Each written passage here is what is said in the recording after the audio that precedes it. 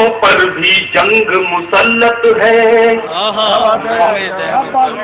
नन्हे बहनों पर भी जंग मुसलत है। कागज़ की पिस्तौल बनाए